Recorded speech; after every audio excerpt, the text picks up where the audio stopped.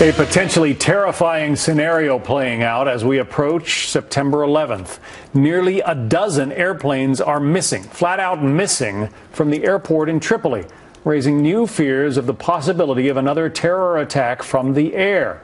Take a look at these pictures that are stoking concerns. We cannot absolutely confirm their authenticity, but they were purportedly posted online uh, by Islamist rebels showing themselves with airplanes that they captured when they overran the Tripoli International Airport in Libya. Bill Gertz broke the story. He is senior editor of the Washington Free Beacon. How do a dozen airplanes just go missing, Bill?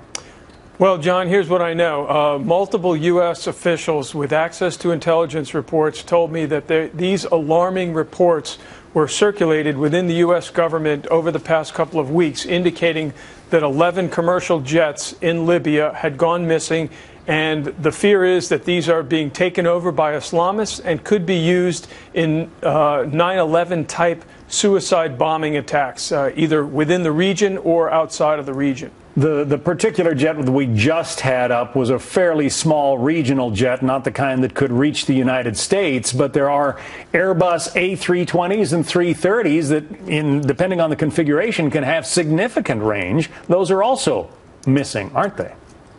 Right. Uh, the U.S. intelligence community is investigating this. They're trying to confirm these reports. They're looking to see if they can account for some 27 aircraft that belong to two state owned Libyan airlines. Uh, the real issue here is that Libya is spinning out of control and becoming a failed state uh, run by Islamists linked to Al Qaeda. And once that happens, uh, we've got a real threat on our hands, uh, whether it's from aircraft or terrorists themselves uh, conducting attacks. Yeah, because the, the, fear is they could use these jets as, as guided missiles, the way they were used on 9 11, or they could load them up with terrorists, land them at a civilian airport, and, and all of a sudden, guys with AK 47s come boiling out. Right. Uh, it's not an easy operation to do something like that. First, you're going to need suicide bombers who can fly an aircraft. Uh, we know that that's been done in the past. Uh, you need fuel for the jets. The Libyans have that. They have an infrastructure for that. So this is a real serious potential threat, at least to the officials that I talk to.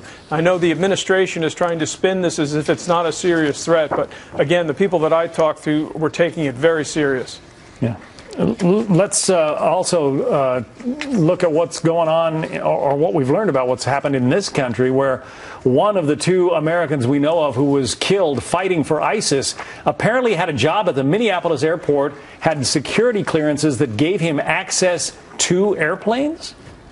Yeah, this is, uh, again, this is the, the cross section of the kind of people that are uh, leaving the U.S. and joining this uh, jihad in the Middle East. Uh, again, there's a number of about 100 of these people. Now, somebody with access to uh, an airport could understand the security of an airport, could understand things that would be useful in conducting a, uh, an attack using an aircraft in the future. Abdurrahman Muhammad was his name. He had nine children, and he was supporting them supposedly on the salary of a, of a guy who's cleaning airplanes?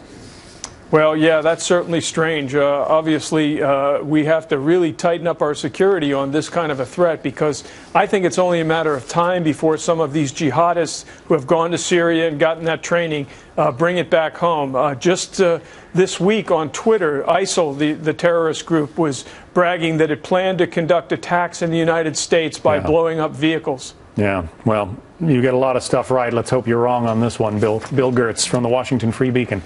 Thank you. Thank you.